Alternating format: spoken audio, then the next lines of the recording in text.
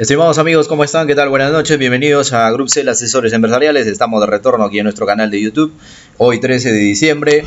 Eh, habíamos comentado en un material anterior que íbamos a desarrollar un flujo de caja proyectada, de manera que esta es la oportunidad para que obviamente tratemos eh, puntos importantes al respecto que debe conocer todo empresario todo emprendedor para que obviamente la salud económica de su empresa sea la correcta. Vamos a tomar puntos importantes dentro del ámbito de este eh, o de esta herramienta que es digámoslo una herramienta financiera que sirve para la toma de decisiones o la mejor toma de decisiones dentro del ámbito empresarial. Eh, vamos a comentar respecto que este flujo de caja se compone de dos, eh, digámoslo, eh, rangos o de dos partidas, lo que son los ingresos y lo que son los egresos. De ahí que hay que tener la correcta, digámoslo, tratamiento respecto a las proyecciones para que de una manera, pues, no tengamos ningún problema a nivel financiero. vamos a explicar de manera correcta, digámoslo, el tema de las proyecciones, tanto de las compras como de las ventas.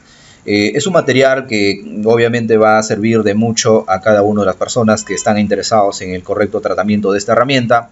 Entonces les invitamos a que se queden a ver este material y a suscribirse a nuestro canal de manera que no se pierdan ningún material al respecto. Eh, muy bien, vamos a, a empezar por el tema de la proyección de las ventas.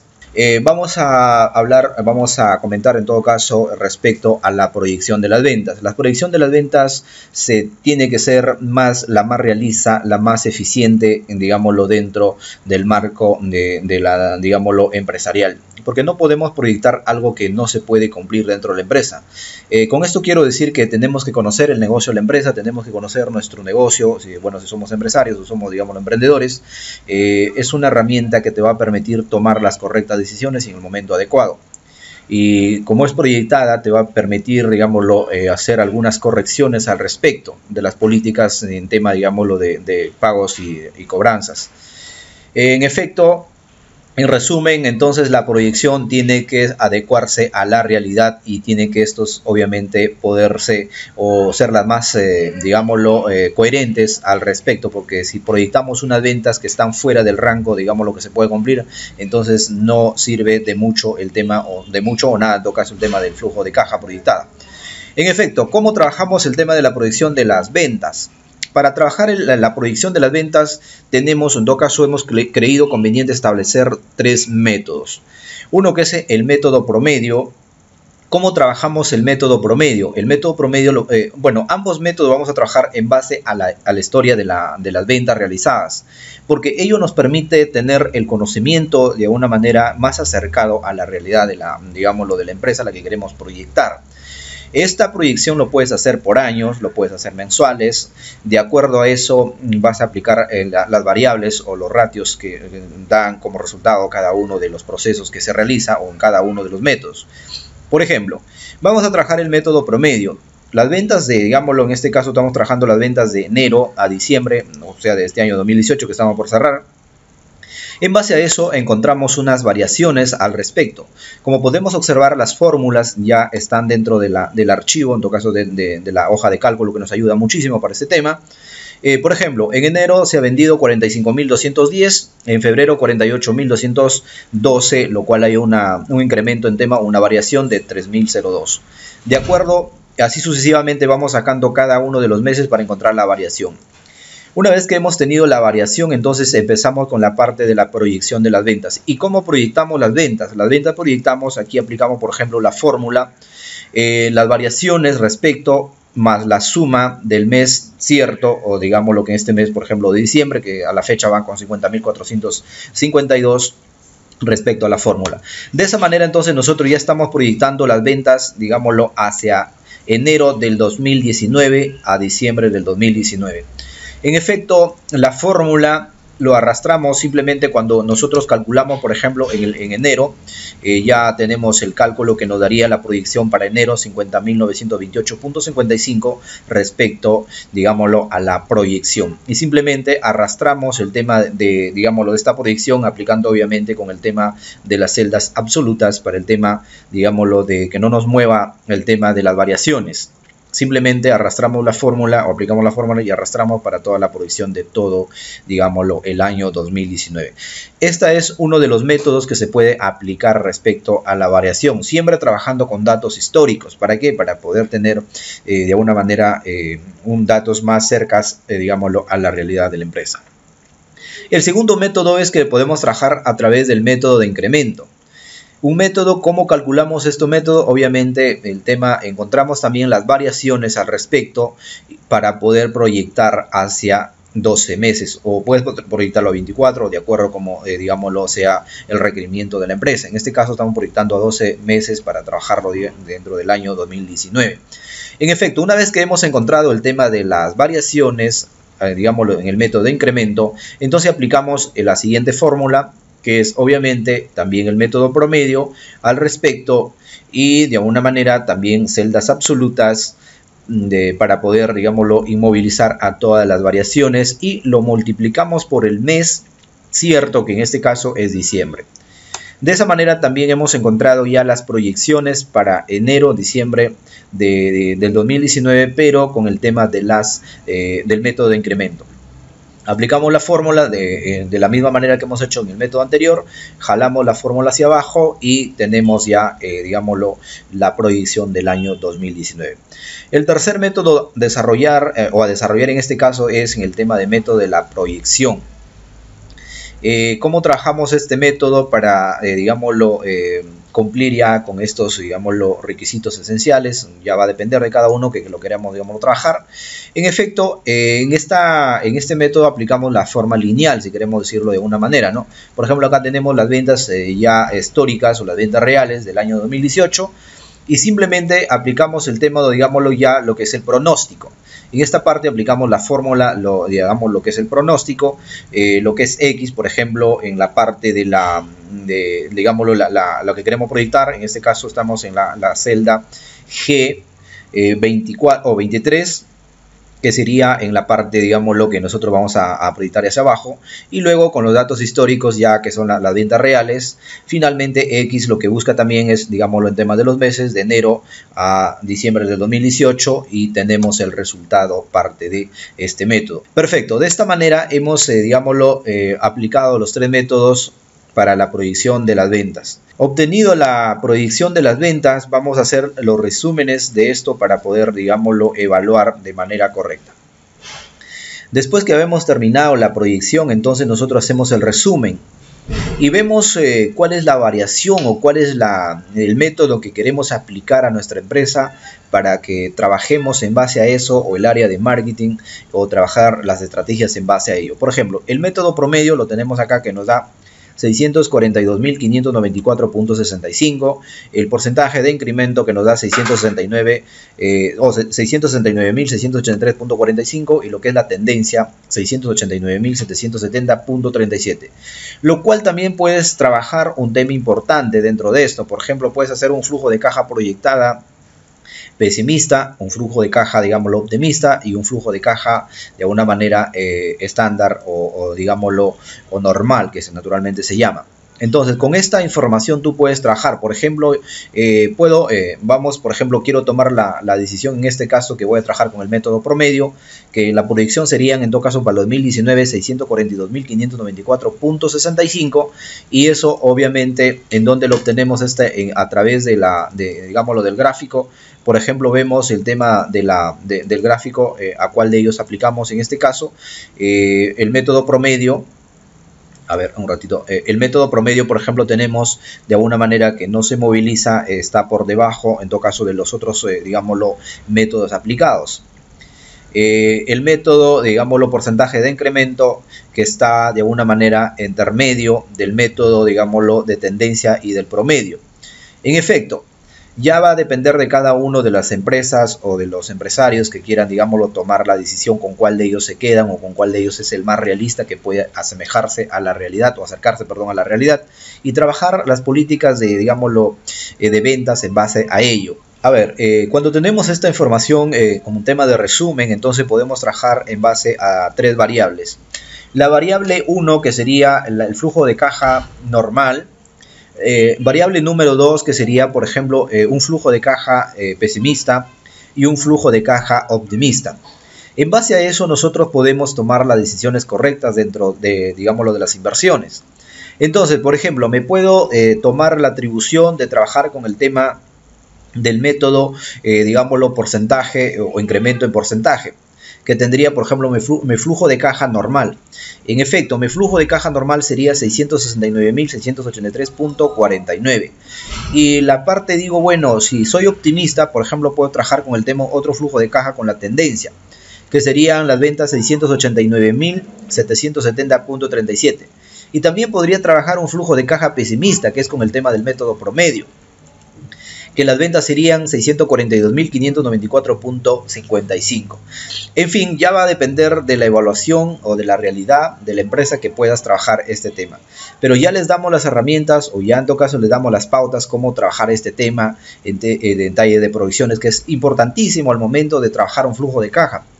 Eh, como vuelvo a recalcar, hay muchos autores que te dicen, bueno, te voy a enseñar a elaborar un flujo de caja, pero no te dicen cómo proyectar el tema, digamos, lo de las ventas, cómo proyectar el tema de las compras que es la esencia de todo un flujo de caja eh, de alguna manera que para desarrollar de forma correcta. Entonces, de esa manera, eh, ya teniendo el conocimiento debido, los datos históricos de la empresa, se puede hacer una correcta, ah, digámoslo, proyección o una correcta acercamiento a la realidad. En efecto, eh, una vez que hemos tenido todo este trabajo previo respecto a las proyecciones, las compras se trabajan de la misma manera, las proyecciones se hacen de la misma manera, no hay, digámoslo, algo novedoso al respecto dentro de las compras. Por eso es que obviamente eh, vamos a explicar eh, también por tiempo solamente la parte de la proyección. El resto solamente es fórmulas, el resto es fórmulas dentro, digámoslo, de, del éxito. Para todos nuestros amigos que están suscritos a nuestro canal, y obviamente que necesitan el material. El material lo vamos a dejar aquí, digámoslo, eh, aquí abajo en la cajita de, digámoslo, de comentarios. Le vamos a dejar el enlace para que puedan descargar este material y puedan, pues, de una manera trabajar eh, su eh, financiera o su herramienta financiera de manera correcta. En efecto, es un regalo por parte de nuestra, nuestra firma, es un material elaborado para cada uno de nuestros amigos, suscriptores de nuestro canal. Bien, entonces, eh, una vez explicado toda la, parte de lo que es proyección de, compras y ventas, entonces vamos a pasar al desarrollo ya naturalmente del flujo de caja. Bien, para el desarrollo del flujo de caja es importante también tener en cuenta un punto, eh, un dato muy importante, las políticas de la empresa cómo está manejando la política eh, de cobranza y cómo se manejan las políticas de, digámoslo, de, pago a proveedores. En efecto, nuestra firma Grupo Cel Asesores y Consultores AC, con la, digamos, nombre comercial, Grupo Cel Asesores Empresariales, trabaja la política de cobranza el 85% al contado y el 30 o el 15%, perdón, a 30 días calendarios. En efecto, las políticas de pago a proveedores es la misma, 85% al contado a proveedores y el 15% de las compras al crédito a 30 días. Una vez que ya tenemos la definición de la política de cobros y pagos, vamos a elaborar el tema del flujo ya de caja para poder eh, tener eh, de manera correcta la elaboración de esta herramienta. Eh, bien, el Excel o en todo caso la plantilla eh, como nos permite jalar fórmulas, entonces ya esta información, por ejemplo, enero está directamente eh, jalado desde la parte de la proyección de las ventas. En efecto, ponemos las ventas totales de enero a diciembre que tenemos, por ejemplo, 642.594.55, que es respecto a la proyección. Estas son las ventas totales, incluido IGB, valga la, digamos, la aclaración. De esas ventas del eh, digámoslo, de enero de 50.928.55, quiere decir que solamente cobramos en enero 85%. Ese 85% representa 43.289.26. De manera que el 15% lo vamos a cobrar en febrero. Por eso es que la fórmula jala de los 50.928.55 lo eh, ingresa en este caso en febrero y así sucesivamente vamos a elaborar nuestro flujo de caja. Eh, en concreto, de enero a diciembre del 2019 vamos a cobrar 546.205.36 al contado y 87.967.60 al crédito que van a quedar obviamente pendientes el de enero, eh, o perdón, el de diciembre, que lo vamos a cobrar en enero del 2020. Eh, ya hay que tener en cuenta ese tema. En efecto, ahí tenemos ya la partida, lo que es la proyección y los ingresos de la empresa. Eh, nos toca hacer la proyección de, las, de los egresos. Igual, de la misma forma, por la parte de las ventas, o perdón, de las compras, tenemos la fórmula jala directamente desde el resumen de proyección de compras. En efecto, por ejemplo, en enero compramos 29.110.34, eh, de eso se paga el 85%, que son 24.743.81. De manera que vamos a pagar el 15% en febrero, 4.366.55. Y así sucesivamente para los demás meses. Entonces, esta herramienta nos permite trabajar de esa manera. Eh, bien, ¿qué más tenemos dentro de nuestra empresa? Tenemos, por ejemplo, eh, personal o tenemos nuestra planilla, que es el 9% que lo paga la empresa, en este caso nuestra empresa, 9% de salud, proyectamos, ya tenemos, por ejemplo, la fórmula, trabajadores con la remuneración mínima, por ejemplo, con 930, 4 trabajadores, multiplicado, la, eh, digámoslo, de salud pagaría o pagamos en todo caso 335, sucesivamente la fórmula ya está aplicada, de manera que eso es el tema de eh, salud que tiene que cargar, eh, digámoslo, eh, esa deuda a la empresa. El descuento de la ONP también obviamente sale por parte de caja, darle por parte caja porque al final, eh, digámoslo, nosotros hacemos la retención al trabajador y también tenemos que proyectarlo, eh, digámoslo, esa salida de dinero. Al final es la planilla o el descuento del trabajador, pero igual tenemos que darlo, eh, digámoslo, en todo caso nosotros somos los responsables para hacer la retención y pagar al tema, digámoslo, de SUNAT. En efecto es una salida, también igual la fórmula ya se aplica, la misma, eh, digamos, fórmula para el tema de salud y el tema de, pago de alquiler, que son 3.950, eso lo estamos manejando de alguna manera, estamos proyectando que sea, digámoslo, eh, firmar contrato por todo un año, que obviamente por 3.850. Eh, seguimos con el tema del impuesto a la renta. Aquí hay un error, perdón, aquí no hemos cambiado el tema, esto estamos trabajando en otro tema. Eh, estamos en el MIPE tributario, pagamos el 1% de, los ingresos. Aquí la fórmula ya está aplicada también. ¿De dónde se aplica la fórmula para el impuesto a la renta? Se aplica, por ejemplo, de las ventas totales, y ahí hacemos la, digámoslo, la división entre 1.18, multiplicamos por el 1%, en efecto nos da 431.60 el impuesto a la renta. Y así sucesivamente la fórmula aplica para todos los meses. Eh, siguiente punto tenemos el pago del IGB. ¿Cómo se paga el IGB? Ya sabemos que obviamente IGB de ventas menos IGB de compras. Eh, obviamente estamos hablando de ventas totales incluido IGB y también de compras totales. Por eso es que la fórmula se aplica de esta manera y finalmente determina pagar 3.328.29. De manera que eh, la fórmula se aplica para todo el año respecto. eso es lo bueno de trabajar con fórmulas. Cuando se modifique, por ejemplo, en la tabla de ventas, si queremos, por ejemplo, la proyección de ventas modificar, automáticamente se modifica todo la proyección, el tema de, de digámoslo, de, de nuestro flujo de caja, se mueve todo. Eso, digámoslo, nos permite tener la información más rápida o tomar las decisiones o hacer las correcciones dentro de nuestro flujo de caja. En efecto, vamos con el siguiente rubro que es el tema de luz.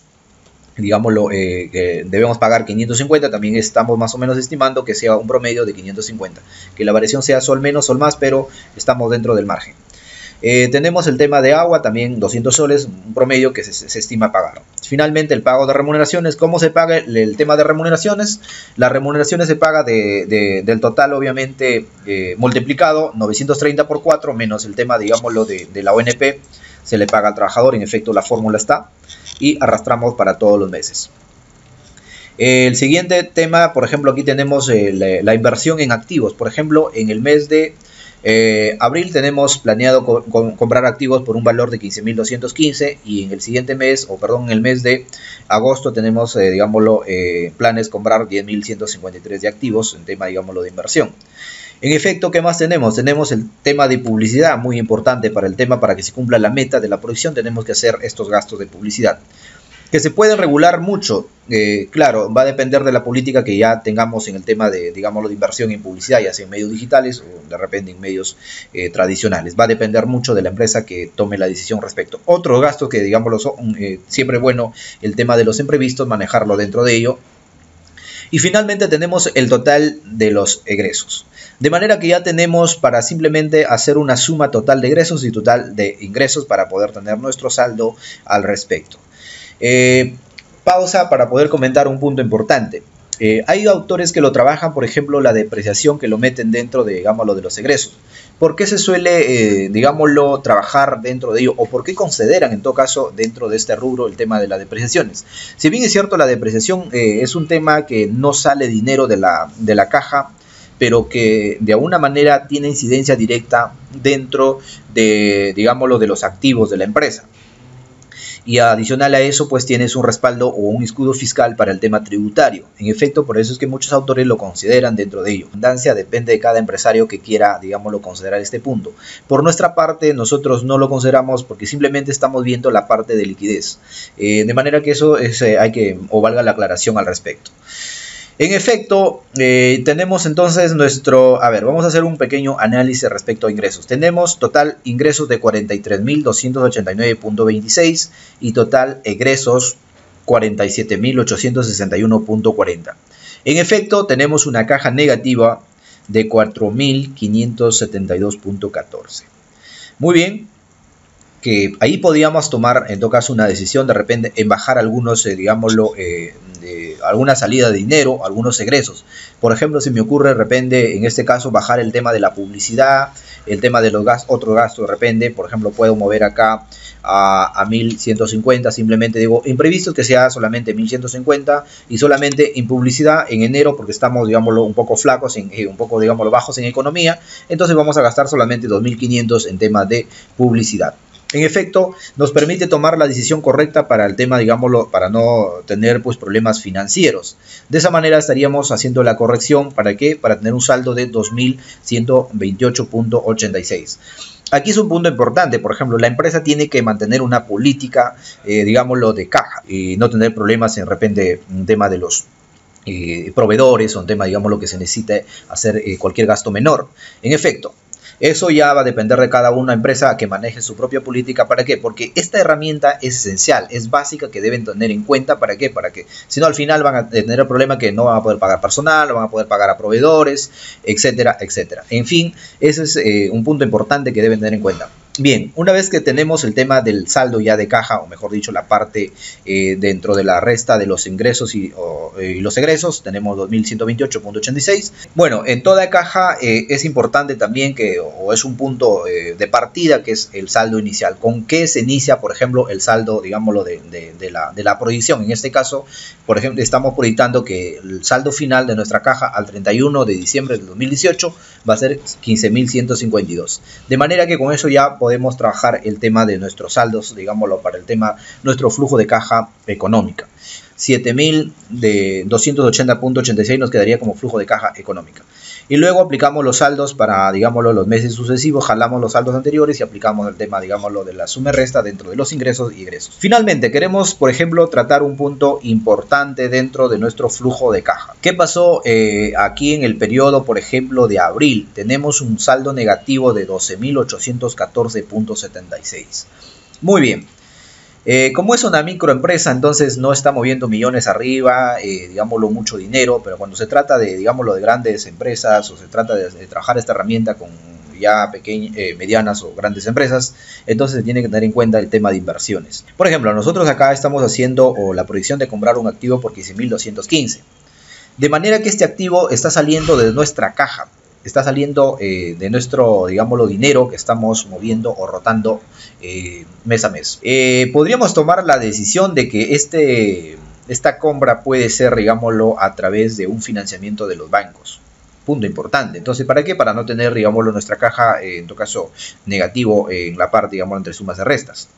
Entonces, de esa manera estaríamos sumando la, decisión correcta, pues para que no tener, digámoslo, ese bajón dentro del periodo de abril y así sucesivamente en los demás periodos, por ejemplo también en el periodo de noviembre, si no me equivoco, también tenemos la parte de, o perdón, la parte de agosto, tenemos proyectado comprar 11.152 de activos. También lo podremos quizás eh, financiar, ¿no? Para no tener, ya, ya de, de, la política de la empresa, cómo, cómo maneja su, su tema, lo financiero. Eh, podemos financiarlo eh, para no tener, digamos, ese, ese tema de, o problema de caja, ¿no? Entonces podríamos tomar esa decisión. En efecto, tenemos un flujo de caja negativo, no tenemos un flujo de caja negativo en la parte, digamos, económico, por lo tanto nuestra proyección está correcta. Más o menos saludable, ¿por qué? Porque no vemos ningún negativo, porque hemos cambiado la parte de, digámoslo, eh, de la publicidad y, tema podemos regular. La buena noticia que del flujo de caja, como es estimación, se puede, digámoslo, adecuar a la realidad, se puede eh, trabajarlo, se puede mejorarlo, el tema de las proyecciones. Eh, por ejemplo, quizás hay empresas que están manejando la política de cobranza, de cobranza a clientes 60-40 o 50-50. entonces le está generando un problema a nivel de, digámoslo, de ingresos. Entonces puede mejorar, bueno, si están 50-50, bueno, podrían decir, ¿sabes qué? Como en nuestro caso, ¿no? 80% va a ser, digámoslo, al contado y 20% va a ser al crédito, de manera que no se afectan económicamente.